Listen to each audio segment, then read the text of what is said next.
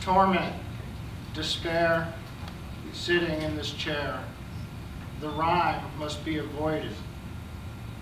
Why is that all that I took from it? Certainly there is more, much more. Certain me sits drenched in emotional blood. It gets into all the cracks, even the ones already filled up.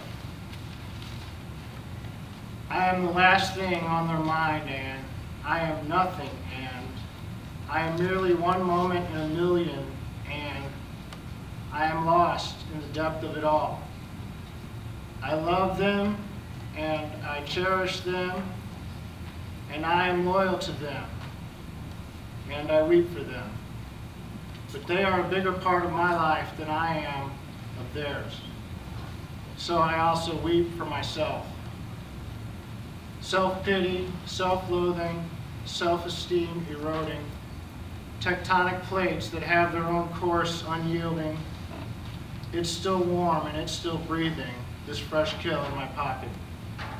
It's like maple syrup in my veins, suffocating sweet. I think I'll lose it today. The dam is cracking. But who will clean up after? The innocent, the ones who love me most. Torment, despair, sitting in this chair, the rhyme must be avoided.